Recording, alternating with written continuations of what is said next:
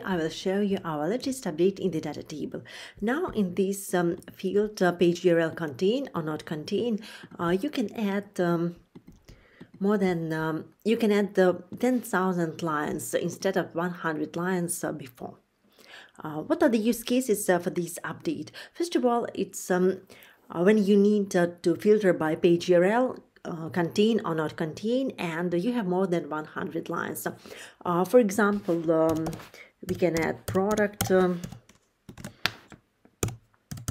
blog uh, rent uh, sale etc uh, so it's when you need to create um, a segment with a big number of urls it also can be used in, uh, in Google Search Console uh, when you want to create a segment by query.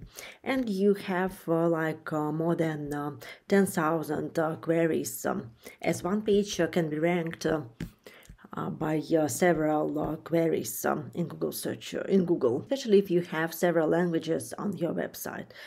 so for example, query contain um, rent a car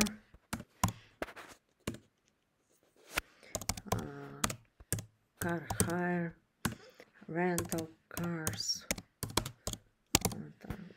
and um, like another language, um,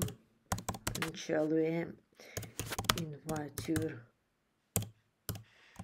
That's the most common use cases uh, for this uh, update. Um, that's um, all I have um, to share with you today. Thank you for your attention. Have a good day. Bye.